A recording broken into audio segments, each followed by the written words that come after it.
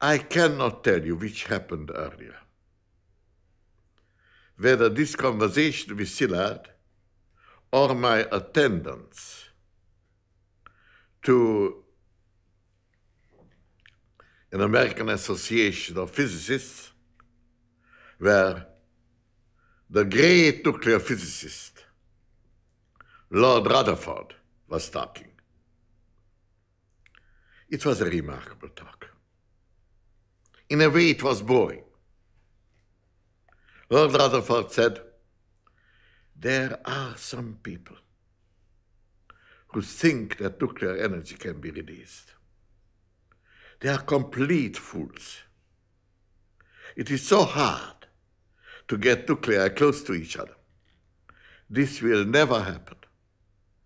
No, I'm sorry. I cannot repeat to you what Rutherford said, because Rutherford, using different words, repeated that long enough to take 20 or 25 minutes. He talked of practically nothing else. And then I saw Szilard, and I knew, I heard from him, that the fool who thought that this could be done was none other than Leo Szilard. And this rejection by Rutherford annoyed him to the point where he took out a patent on it. The special way he wanted to do it happened to be wrong. I already told you that at that time atomic weights and atomic energies were not known very accurately. One of the light atoms, beryllium, the fourth in the periodic table, hydrogen, helium, lithium, beryllium, had normal beryllium, beryllium 9, had four protons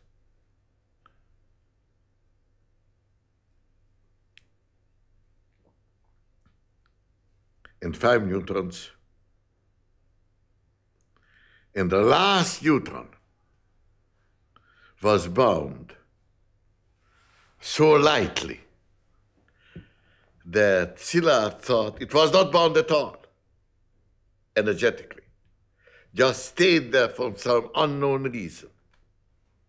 And beryllium was the obvious donor of neutrons. He made experiments on it and found it didn't work. Then he heard about uranium fission. He came down to Washington and told me what now is obvious. Here, we have fission in uranium. If in the process where uranium splits into two, if there is not only a neutron absorbed, but at the end more than one neutron emitted, then we could have the chain reaction.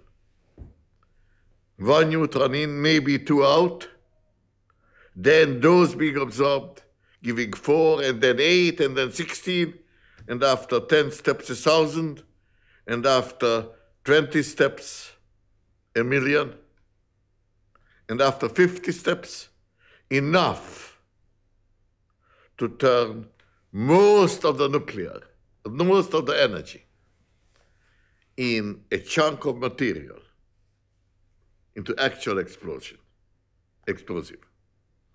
And that is what should be done. But nobody knows whether actually these neutrons, these additional neutrons, are emitted.